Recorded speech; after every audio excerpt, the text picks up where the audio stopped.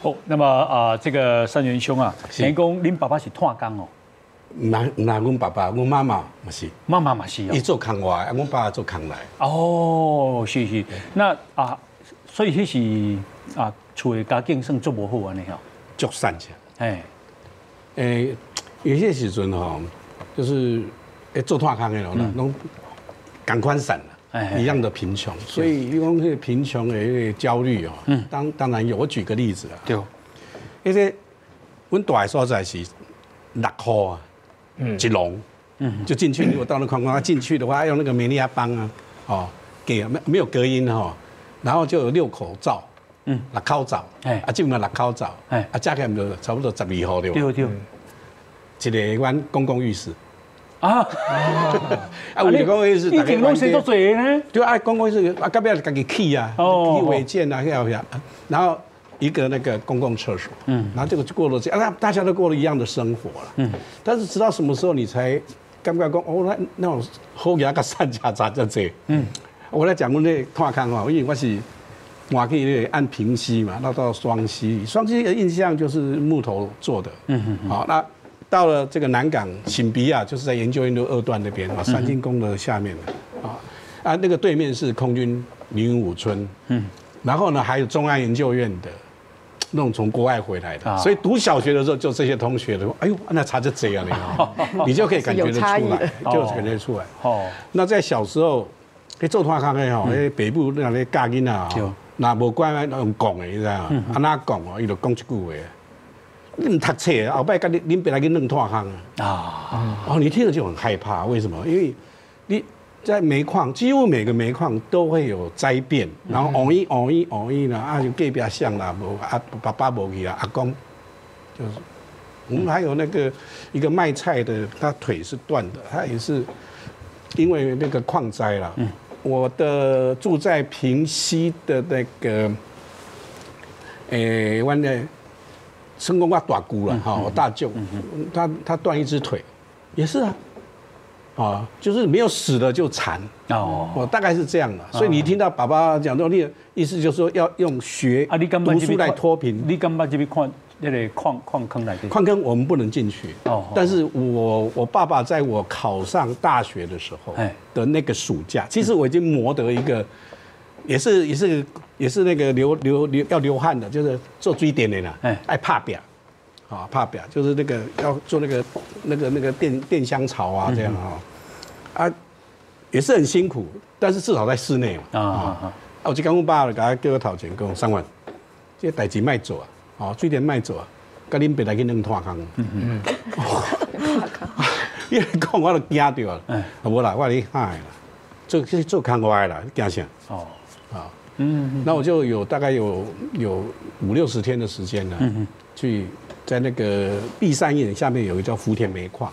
所以后来我在二零一七年退休的时候呢，不是要申请那个劳劳保嘛，嗯，然后我就看到，哎、我有国家认证的矿工资历啊，因为上面就有劳保，就有福田煤矿，大概这样的。啊啊啊啊。但那个那五六十天里面呢，给我的感受很深啊，所以我常常在演讲分享的时候，我就会问，我现在问大家了，有一天我爸爸大概工作了在四四五十天的时候啊，就把我叫到前面，啊，用台语讲啊，哦，三万，啊，你感觉安怎？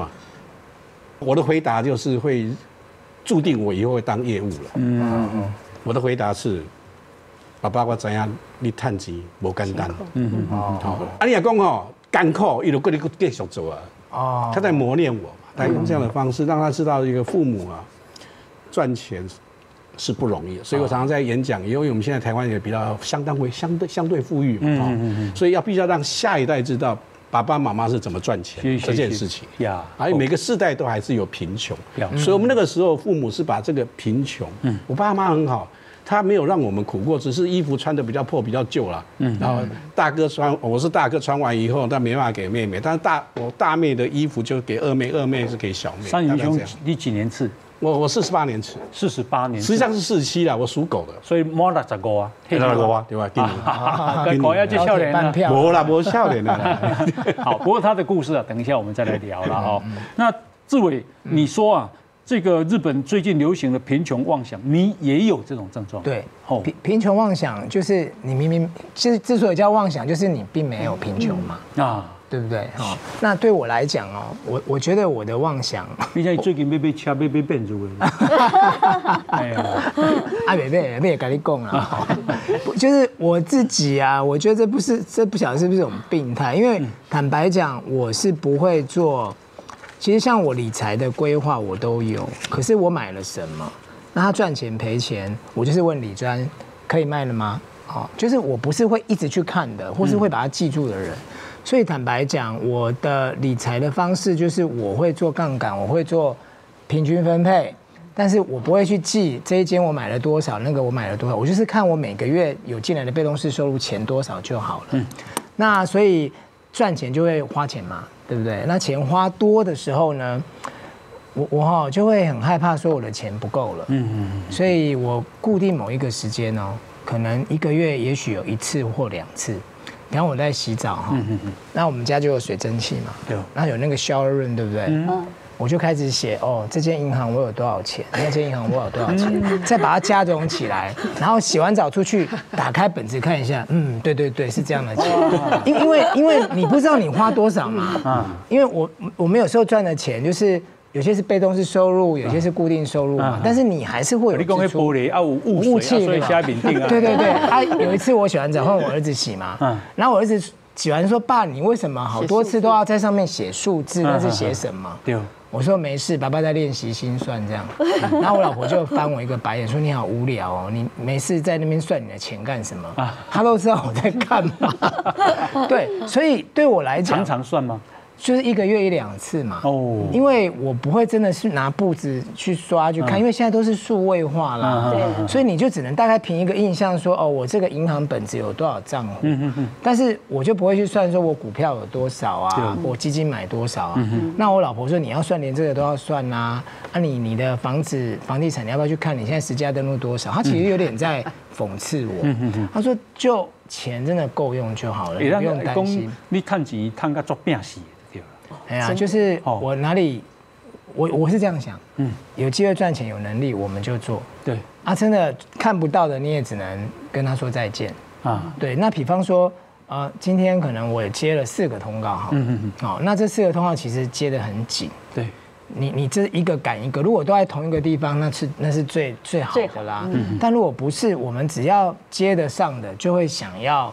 尽量接，但你会让自己处于一个很紧张的状态啊！哦，就哦，我可能就必须哦，阿尼玛容易出车祸。一方面，然后二方面你都不能算到有万一的哦。对，比方说万一前面 delay，那你后面怎么办？嗯，万一你来的时候找不到停车位怎么办？嗯，所以就我我我我以前是会这样子的，就是我就是可以接，我就把它接满。哦，但现在我不想要让我自己承受。那样的压力，因为有一点年纪了哈，就是不要让自己处于一个紧张的状态。那个开车真的很危险就赶得要死，然后你就会突然那个暴那个怒暴怒怒暴症上升啊，怒怒症上升，对，怒怒症。所以我这个就是我认为我是有我自己觉得我有贫穷妄想，我会没有安全感。所以你是你是其实只有够开，嗯，但是你一直担心。啊，贫穷不安，所以没有安全感。就是应该说，我不知道未来我够不够花啦，因为那会是一个动力嘛。嗯，假设我呃，像像我这个月缴账缴那个信用卡账单，我缴了二十几万。嗯好，那我就给我太太看，你看我这个月要缴二十几万。老婆说很好啊，代表你赚很多啊，你要这样想啊哈。那因为是学费嘛，要缴小孩学费，我就用刷卡的。那我就会跟自己说，好，我现在花了二十万，对不对？那我想办法要把它。